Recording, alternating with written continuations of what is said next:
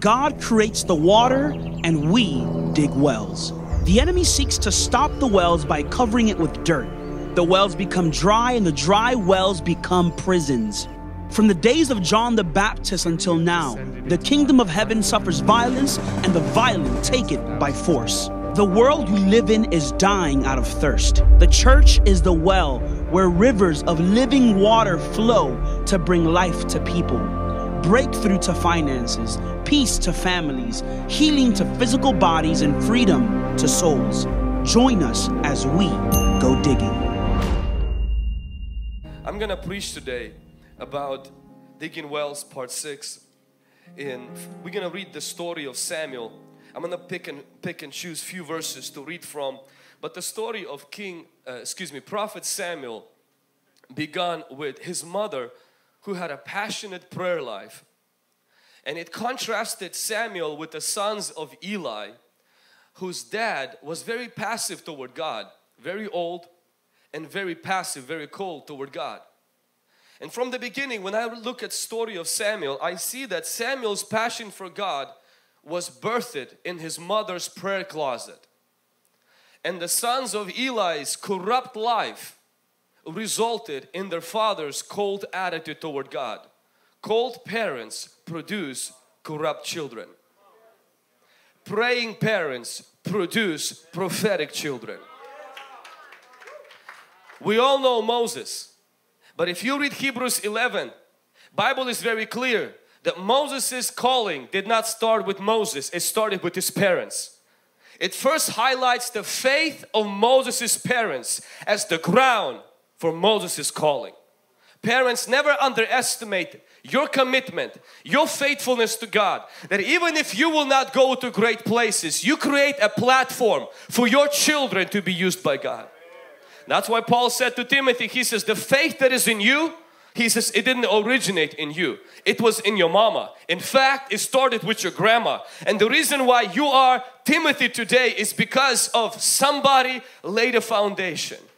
If you are paying a price and not seeing results, that means someone else will reap the benefit.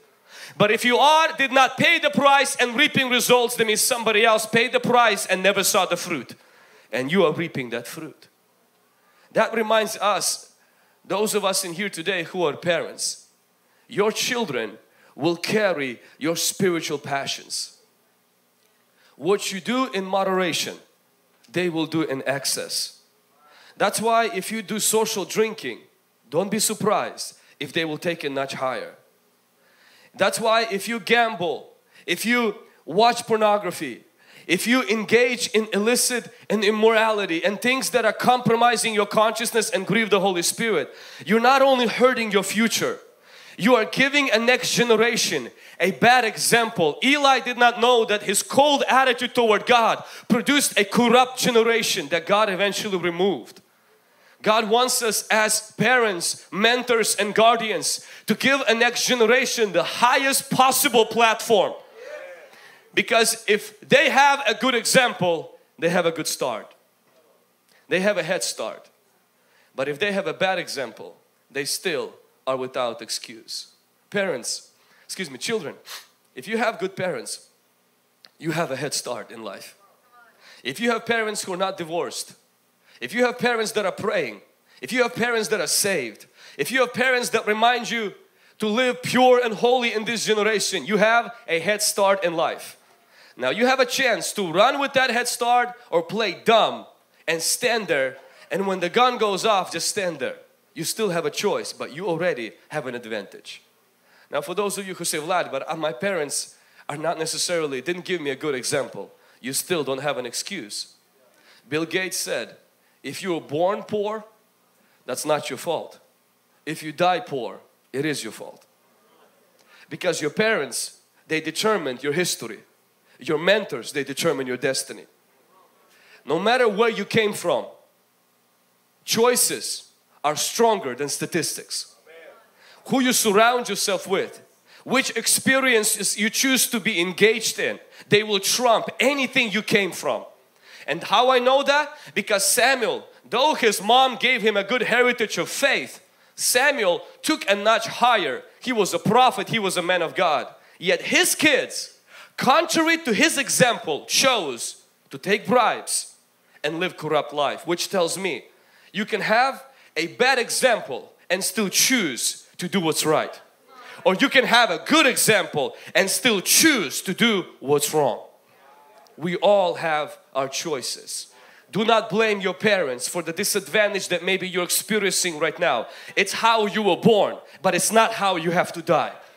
It's how you started. It's not how you're gonna finish. Why? Because you will make a choice that me and my house will serve God. What they did was their choice. What I will do is mine. And I am responsible and it is my decision. And I stand by that decision. Somebody give God some praise right now. You have the power. The ball is in your hand right now. It's in your court. You make a decision. Stop playing a victim. Stop blaming. Take responsibility. Yes, you didn't have a head start, but you still don't have an excuse. I see that in Samuel.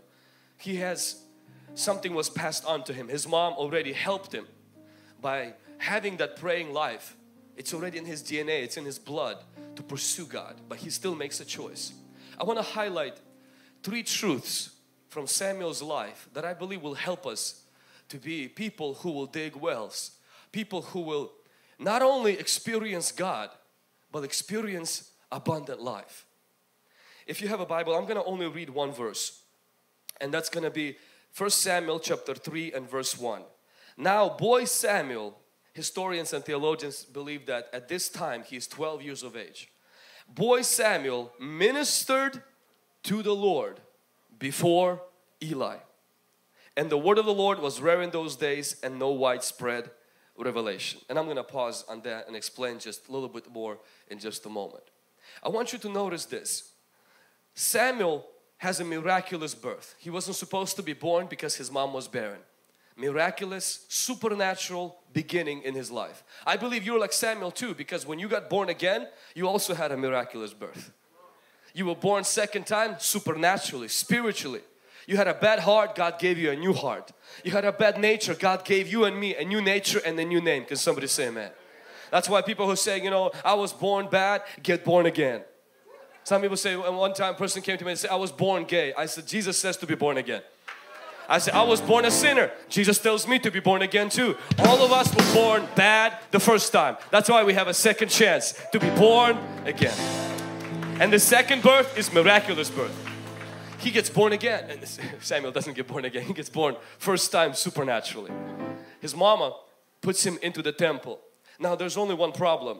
Is the temple she puts him into was worse than the house she could have kept him in. Think about it. The temple that she put him into was so messed up. It was the place you don't want your kids to be in. It was supposed to be a good place, but it was so corrupt. The Bible says the sons of Eli lived sexually immoral life. They did not know God, meaning they had no appetite for God. And thirdly, they despised sacrifices. They broke their priestly duties, meaning Temple was the worst place you want to send your kid to. And Samuel did not have a good example. He did not have an older brother. Samuel did not have a great mentor. Samuel had only mom and dad visit him once a year to bring him brand new clothes. But I want you to watch this. Being in a corrupted, toxic, horrible environment, Samuel did not blend in. Samuel did not get corrupted. He was a boy he was a little child, but he did not become what temple was. The temple system, the year after year toxic environment did not change this boy's convictions and commitment to God. And he was alone. He had no support system. There was no home group. Unlike Daniel who had three other buddies, he had nobody with him there. He was by himself. And one day, Daniel, excuse me, Samuel, he changed the temple system. One day, all of those guys were gone and the system changed in the temple. I want to remind every person here today, before God will use you to change your environment, God will test you whether your environment will change you. Before you will go to change your world, you will be tested not to be changed by the world you are in right now. The toxic family situation the difficult time at work. Perhaps it's in your college school right now where everybody is doing something where the norm is something that is against your convictions. Where it's popular to do what is against the Word of God. Where there is a pressure in the culture to conform to the culture. But my Bible makes me to understand is that before God can transform a man, a man makes a decision not to conform to his surroundings. God cannot transform. God cannot use you to transform your environment until He first tests you that you don't get conformed to your surroundings. And that's why many of us are saying, I'm gonna change the world. How? If you watch what they watch, listen what they listen, go to where they go, smoke what they smoke, drink what they drink, sleep like they sleep. How? What are you gonna change if you're just like them? How are you gonna stand out if you're so busy fitting in? If your whole goal is to be accepted by the popular crowd, the Bible says the flower fades and the grass withers, meaning trends they change, fades. Those things that are popular today, they're no longer popular in five years, but the word of our God endures forever. Meaning when you decide like Daniel in the Babylonian culture, I cannot change Babylon, but I will be refused to be changed by the Babylon. I will not eat what they eat. I will not watch what they watch. I will not live like they live. I will stand out. I will stand for God. I will stand for my faith. I will stand for my purity. I will stand for my convictions. I will stand for the truth. Guess what happens? When you stand up for God, God stands up for you. Guess who God used to change Babylon? The one who wasn't changed by Babylon. Guess who God used to change the temple? The one who wasn't corrupted by the temple. Before God lets you change your world, He will test you whether your world will change you. Titanic did not reach its destination because the water the Titanic was on got inside. If the world you are around gets inside of you, you will not change your world because you become a byproduct of your world. You will become a salt that lost its flavor and the Bible says it's useless and nobody needs it and they trample underground. When you lose your distinction, when you lose your separation from the world as a Christian, you're useless to the world. The world doesn't need you. The world doesn't care about you because you're like it. You, you hurt the same, you bleed the same. You can't offer a solution if you're in the same hole with them. That's why Bible says be separate. It doesn't mean that we run away from the world. It means that we are in the temple, but the temple world is not in us. That means we see the corruption, we see the hypocrisy, we see the popularity of the ungodly things being popular, we see the trends, we see all of that stuff and we love people but we say, you know what, I am not here to blend in because this will pass. It used to be popular to kill people for sport and that passed and this will pass. Killing babies in the womb, that will pass too. Why? Because God's word will endure forever. Making fun of God, that will pass too. You should ask Stalin. You should ask other dictators who made fun of God where did they end up. That will pass and you will stand your ground. God will use a man to change the world who makes a decision not to be changed by the world. And Samuel, the first victory Samuel had is not to become the friends and influenced by the sons of Eli when he had no friends and it's hard to do when you're alone it's hard to do when you don't have a clique to support you, when you don't have a squad to uphold you. It's hard to do when you don't have a, a group. It's hard to do when you don't have support. But it's still possible. If a boy could do it, so can you. With home groups, with podcasts, with Bible reading plans, with books, so can you. With Sunday morning sermons, so can you. With your parents cheering you on, so can you. With your pastor preaching to you, so can you. With prayers and fasting. If boy can do it, you and I can do it. Can somebody say amen? I know that not, not conforming to the culture will cost you something. This is the biggest problem is that you lose something if you refuse to conform to the culture. But watch this. If you do conform, you lose everything. If you don't conform, you lose something. If you do conform, you lose everything. Samuel lost his childhood. He didn't spend it with kids. You know what he played with? Ark of the Covenant. How was your childhood? Well, I memorized every closet in the temple. How was your childhood? I learned about showbread and the candlelight sticks. How was your childhood? Oh, I read book of Leviticus. He had no childhood. He lost his childhood. But he had his destiny. Sons of Eli had a fun life which was cut short and they not only disappointed God. The Bible says, I think the only instance in the scripture what I could remember where God spoke of his people that he wanted to kill them. And that was the sons of Eli. You will lose either everything or something. You just decide what do you want to lose. You will pay now and play later or you will play now and pay later but you will pay. You will either live with the pain of discipline or with the pain of regret but there will be a pain and the best pain is the one you can control. The best pain is the one you can choose not the one that's inflicted on you. The best pain is when you hold your horses, when you hold your purity. The best pain is when you control yourself. The best pain is when you hold your virginity. The other pain is when HIV hits you. And that you can't stop. The other pain is when you go from broken relationship to a broken relationship and that you can't control and that doesn't stop and that keeps hurting you and hurting you. The best pain is the one you control and choose. And that's the pain of picking up the cross following Christ, denying yourself and following Him where He goes. Can somebody say amen? I know some of you came here today and you you were hoping I'm going to pat you on the back. Before we get to that part, we need to remind you. Many of us are, have come too many times to the cross. But God is calling you to get on it and die on that cross. To your interests, to your desires, be separated because God cannot bless a mess. God can only bless someone. God can only use someone who will be separated to Him in this day and in this hour. And Samuel first, he was pure from the pollution of his surrounding.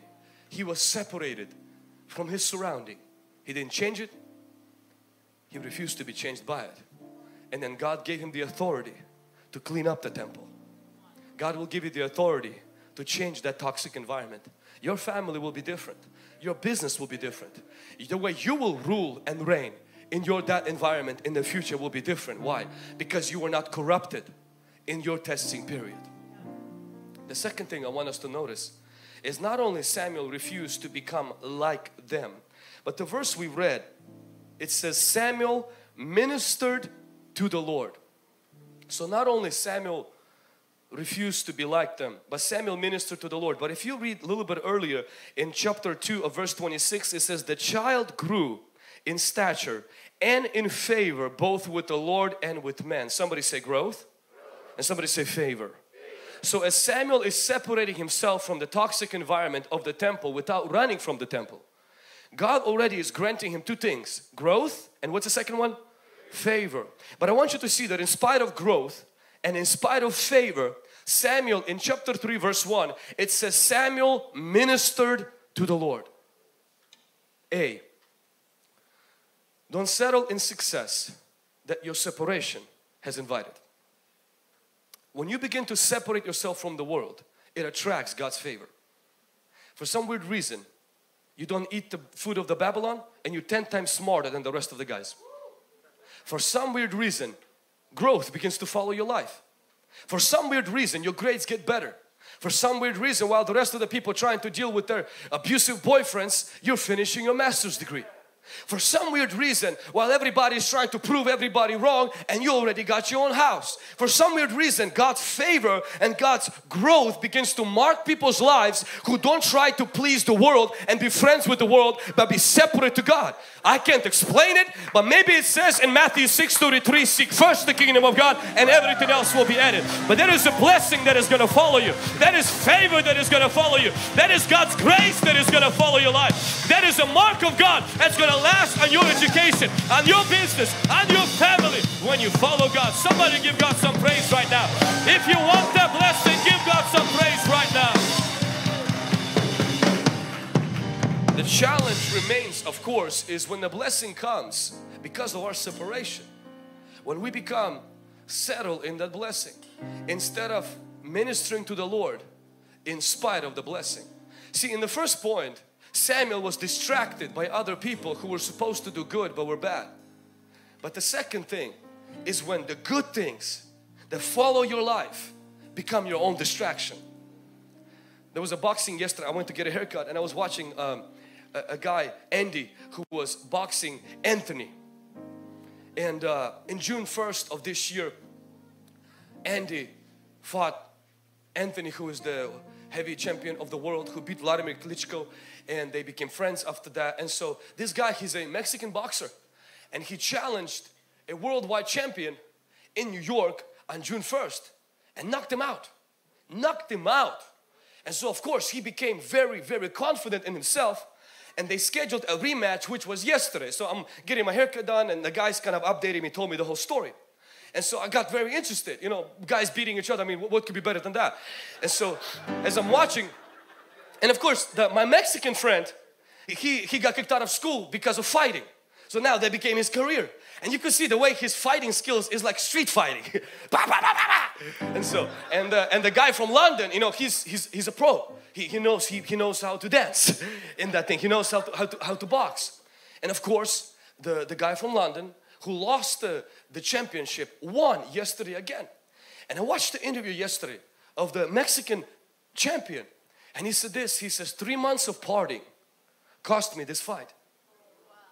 He says, I gained so much pounds and I, I loved his honesty because most people are not going to be there like, oh, referees are the ones, the judges are the ones. He was very, very honest. He says, you know what? I took my victory so seriously that I thought I was invincible.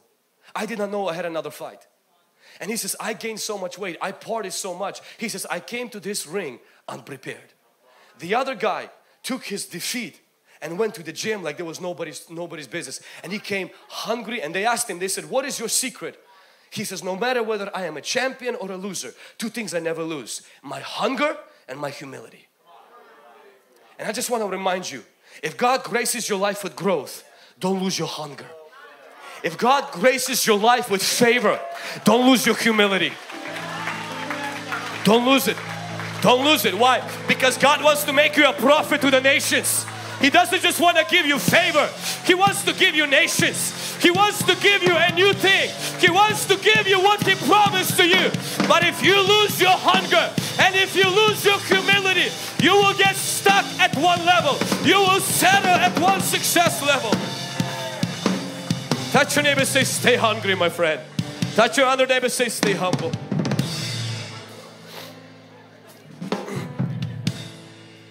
Don't settle in the success separation has invited. The favor you have on your life is not final. It's never meant to be final. The growth you've experienced right now, it's not meant to be your destination. The miracle of seeing Pharaoh drown and 10 plagues is not what God promised to Abraham. He promised land that flowed with milk and honey. What we see today is not what God has promised. This is just a step. When Joseph experienced favor of the Potiphar, it was not what he saw in the dream as a kid. What he saw in the dream was the stars. What he saw in the dreams was the nations. He's experiencing a little favor and a little growth. But Joseph refuses to give in. Joseph refuses to lose his purity and his passion. Just because he experienced a little bit of that. He says, I will stay humble. I will stay hungry. I will minister to God. Whether he blesses me or not. Because my God, my God, my God, my God will supply all of my needs according to His riches and His glory. My God, He will do more than I imagine, more than I think, more than I pray, and more than He promised. Somebody give God some praise. If you have a dream, if you have a calling, if you have a promise, if you have a prophecy, give God some praise right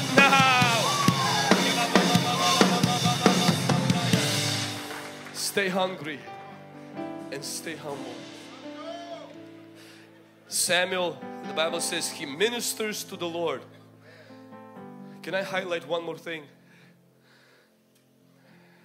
Stay fascinated with God even after you're familiar with the things of God. Even after you know every corner in the temple. Even if after you know the whole procedure of how the services go. Samuel already knew about the candle lights. He already knew about the uh, tabernacle articles. He already knew about everything in the temple. But little boy is ministering to God because I yes I am familiar with the temple but I am interested in God. I am fascinated in who He is. I am a little kid in a candy store. I am curious about His character. I am curious in His glory. See, Moses saw the power, he saw the palace, he saw the miracles, but he gets lost in the glory of God. He says, God, show me your face. But Moses, you already hear God. Moses, you already have seen more and most men will only dream of. But see, you don't lose your fascination with the person of God just because you got accustomed to the things of God. Dear leaders in our church, dear pastors, dear directors, dear people who know how the things go, who know when somebody crossed the line on the stage, who know when some somebody said something they should have not said, when the camera is not pointing in the right direction, when the right microphone is not on, when you know the flow of the service, please understand you don't have God figured out. God is not in the things. God is above the creation. And a little boy understood, I know the temple, but I'm hungry for Him. I want to know Him. I will minister to God. I will minister to God. Stay fascinated with God even when you're familiar with ministry, even when you're familiar with miracles, even if you're familiar with how everything's supposed to go. That's why when Jesus got baptized in water and the Bible says a dove like a dove came Holy Spirit upon him. The heaven split and the voice came and two disciples they were moved they came to Jesus, they said, Jesus, we're curious. Where do you live, Master? Everybody else watched it and went back home, but someone had a curiosity. And those were the men Jesus built that church on. Why? Because He's looking for the curious. He's looking for the people who are fascinated with Him, who are curious about Him, in spite of the fact they have church figured out. Samuel, he served the Lord. Samuel, he was separated from the toxic toxic, toxic, toxic environment in the temple. And uh, toward the end, I want to highlight one more thing. What I read today is this: is that Samuel ministered to the Lord, and I want to highlight you these two words: before Eli. Before Eli, is Samuel submitted to the authority that happened to be flawed with bunch of mistakes and unfortunately really not good. This authority was so not good that even God sharply rebuked this authority. In fact, Samuel's first visitation was not about his future, but about the destruction of the future of his authority. And he felt so bad for Eli that he couldn't sleep at night. He didn't go in, he's like, oh my gosh, I can't tell Eli, I can't wait to tell Eli God's gonna kill him. Yeah, a prophetic word I was waiting. No, Samuel felt bad for Eli because it's the man he honored. It's the man he respected. Yes, this man had a lot of flaws. This man had a lot of mistakes. But it's the man that Samuel had in his life who helped him to discover God. I want to share something about authority. One, the fear of God causes you to honor flawed authority, not just the perfect one. The fear of God causes you to honor authority that's not perfect. I'm carrying this verse in here Thank you, Connect Church, by the way. They sent me this. It says this Honor people, love thy brother, fear God, and honor the king. I believe if you don't minister to God and you don't fear God, you will despise authority based on what you see in them.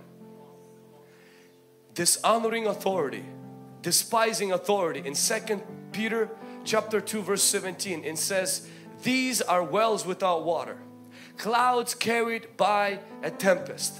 And for them is reserved the darkness of black, blackness of darkness forever. Meaning he's speaking of people, verses before, people who despise authority, people who make fun of authority. And he says, these people become wells without water. And the reason why I find people in my generation feel like they have a permission to dishonor authority is because they see flaws. Recently I was driving with, with a group of guys and the police officer is beside us and he said, pigs. I said, what are you talking about? And he pointed to the police officer. I said, did you know only criminals call police pigs? I said, you're a criminal. I said, the Bible doesn't call them pigs, it calls them servants of God. You just disrespected a servant of God. And the Bible says, They don't carry a sword in vain. There's a bullet there for you, bro.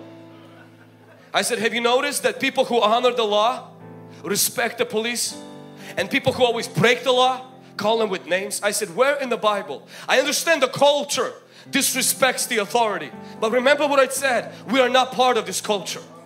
We're part of a different kingdom. And in that kingdom, Apostle Peter tells the church, honor the king who killed people for sport. These kings, they brought people in the middle of their parties for sport. Do you remember King Herod? He had a girl who did a salsa dance. He said, what do you want girl? And she says, I just want the head of John the Baptist. You mean you want us to draw his head? No, I want us to cut his head off. Awesome. No board meetings. No, uh, let us think about it. Uh, are you sure? What did he do?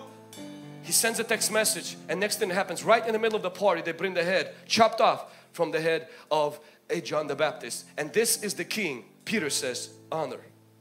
How could you honor a man like that? You don't honor him. You honor the position that he occupies. It breaks my heart to see our generation looks at our president and calls him moron. And then they look at their parents and they call him stupid they look at pastors, they call them con, uh, con artists and false prophets. They're, pro, they're pastors, not prophets. Get it right. They look at their, their, their mom and they call them slow and they call them with all kinds of names. Next thing that happens, you have to understand is that your flood authority doesn't give you right to dishonor them. Just because your parents are divorced, it doesn't give you right to break the curfew. Just because your dad is in front of Netflix all the time, it doesn't give you right to say, you know what, I'm not going to listen to you. Why? You're not a good example. Because your dishonor shows more about your character than the person you're dishonoring. God treats dishonor seriously. When Ham made fun of his father who was drunk, God didn't punish Noah, He punished Ham. When Miriam made fun of her brother for hypocrisy because Moses said, do not marry women from other cultures. And then Moses goes and finds an Ethiopian chick and gets married to her. Well, Miriam has a problem. She's like, Mo, you know, you said not to do this. Are you the only guy? What is wrong with you? And she rises against him. And trust me, she had the right. And God comes to Miriam and he says, yeah, Moses really crossed the line this time. He says, Miriam, how dare you? And God gives her a little gift called leprosy and says if you don't repent you're gonna die of this now I look at that and I'm like God did you approve of Moses did no no no God will deal with Moses as God did with Eli God would deal with Noah as God did with Saul when David honored him. It is not in your place to begin to tell your parents and fix your parents. Dishonor never fixed anyone. It hurts the person who releases it. It doesn't hurt the person and it doesn't help the person who receives it. Because my friend, one day you will have your own children. One day you will have your own grandchildren. One day you will be a teacher in the classroom. One day you will be the mayor in the city. One day you will be a leader of a home group. One day you will be a pastor of the church and you will realize things look different from this point. What looks like control is care. What looks like they're taking my fun away is protection. What looks like hypocrisy is something you just don't understand yet. Because things look different when you switch places. I want to challenge a generation here today. Honor authority even if they're flawed. Even if they're fake. Why? Because God will protect your heart. He will use that to change them. And God will deal with authority. Now, I do want to say, if you are in a relationship where the husband is physically abusing you, you do have to report. You have to call police. You have to get somebody to come and help. If you are in the, if you are at home and your one of the relatives is taking sexual advantages, you have to report. Honor is not performing to those things. If you are in a company and there is dubious illegal things, you have to report either to HR or somebody or walk away from it. We're not talking about closing a blind eye to an immoral and a criminal activity. What I am talking about is character flaws, little control there and there, things that we use as excuses to say, I will never honor that man, will never honor that woman. David honored Saul and Jesus honored his mom and dad. He came to the temple and his mom and dad says, son, we're going back home. And Jesus says, Excuse me, I am Yahweh. You know, beginning and the end and everything in between. That's who you're talking to. I made you in your mother's womb. I know I came out of yours, but I made you. And Mary looked at him and said, Snap out, son, let's go back home. And Jesus, the Bible says, humbled himself. He had a world to save, but he also had a mom to honor. And then when he did his ministry and it got so crazy and big, his mom and the rest of the family came and they said, We're going to take our son home because he's crazy. He is out of his mind. Guess who created that story? His mama.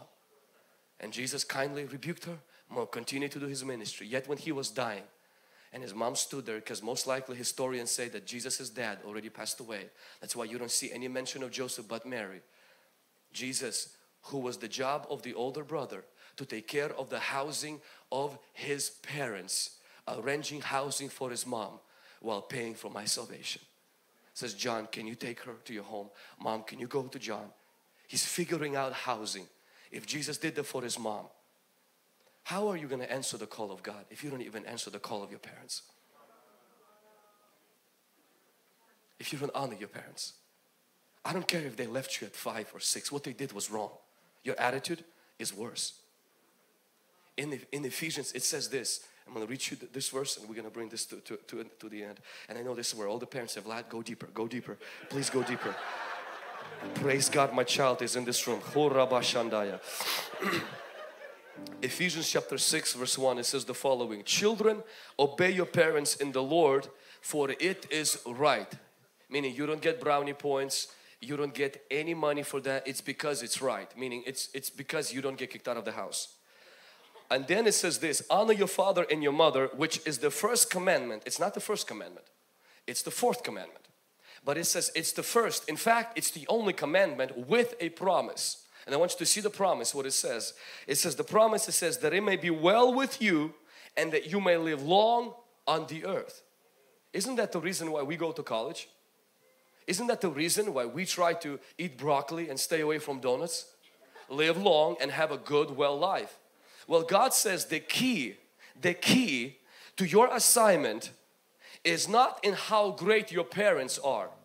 It's in how great your attitude is toward the parents you have. The key is in your hands. They are the door. Camera people, I'm sorry. The key the, your destiny, what's behind this is your assignment. Little boy Samuel doesn't realize that behind this door is Samuel being a prophet, not just a priest, but a prophet. Behind this door is Samuel being an author. Do you remember two books of Samuel?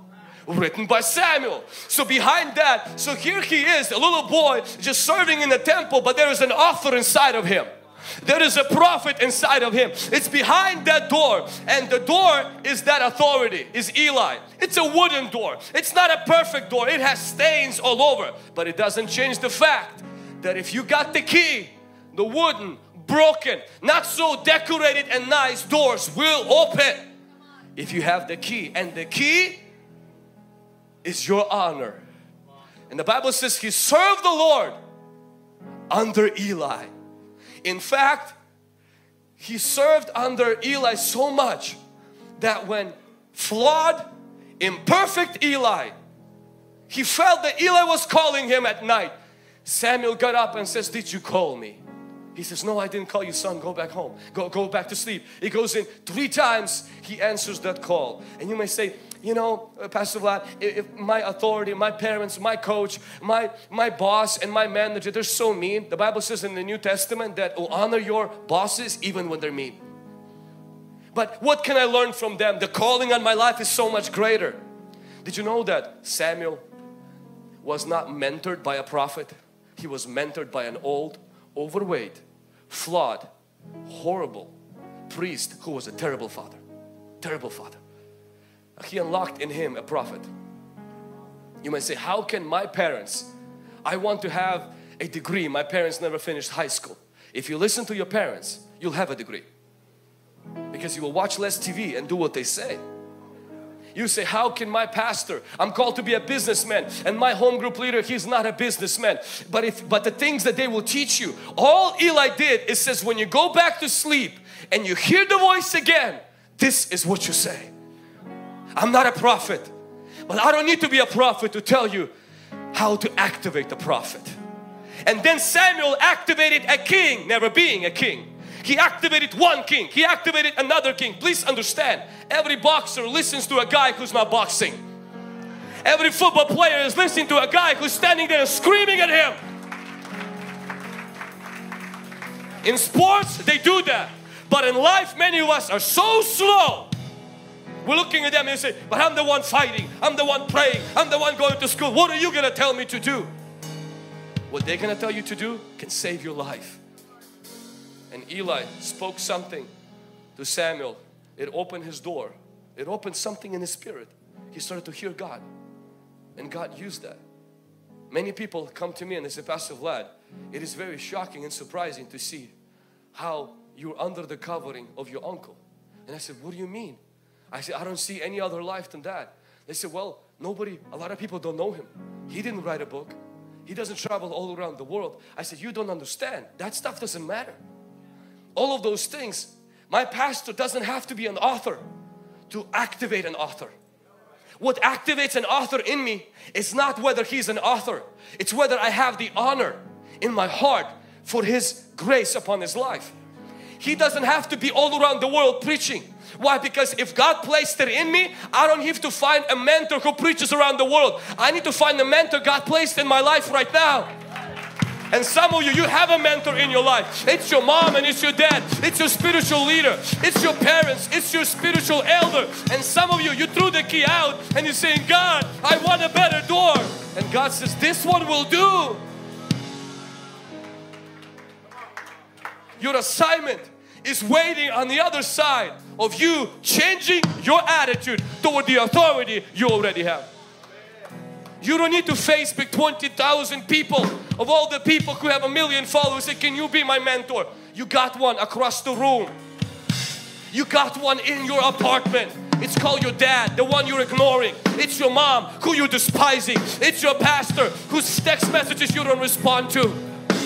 It's your police officer who you keep calling pig. Oh, because I don't like this and I don't like that. God says your assignment is laying locked because the key is in your hands and it's called your attitude. Honor your father and your mother. Honor the king. Please guys, you don't have to agree with our president. I didn't agree with the, uh, with, with the previous president that we had. Because of him I had to pay a, a penalty of $2,000 every year for not having insurance. But it didn't change the fact that he's my president. I pray for him and I honor him. I didn't agree with some of his policies. You may not agree with some of the things that Donald Trump does. He's your president and you're in, in this country. You gotta honor the king. That's what the Bible said.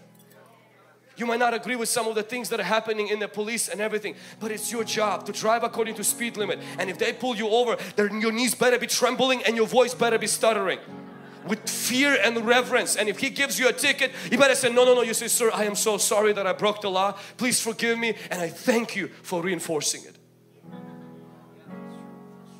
You pray for your pastors.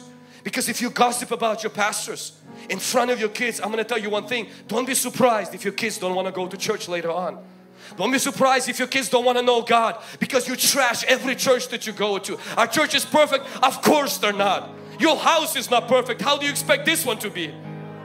We, we, we, are an imperfect church because we have people in this room. And as long as there's people, there's going to be flaws. And that's why we learn like two other boys of Noah. We cover the flaws. We pray and we say, God, we want to work. We want to have the elders, the bishops to come in and help our leaders. But criticizing, gossiping, backbiting, backstabbing, it destroys your future and it doesn't help the church, it doesn't help your family, and it doesn't help our community.